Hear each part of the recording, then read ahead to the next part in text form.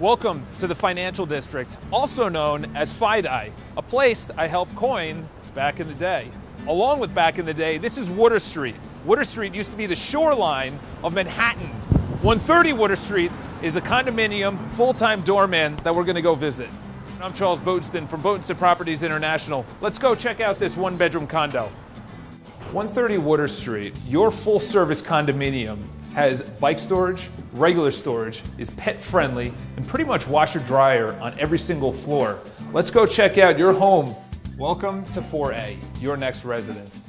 Tucked over here is your kitchen. Immaculately done with beautiful stone throughout not only your kitchen, but your home. Plenty of cabinetry. The owner is actually a chef, so you don't have to worry about being chef ready closets galore for all of your needs. You have a breakfast bar, which is absolutely perfect for entertaining. Desk right here.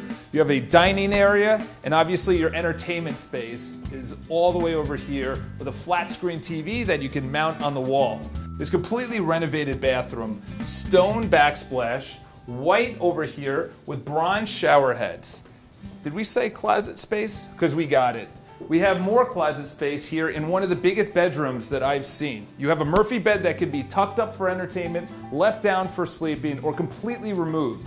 If you'd like to visit 130 Water Street, 4A, call me, Charles Botensten from Botensten Properties International. Have a great day.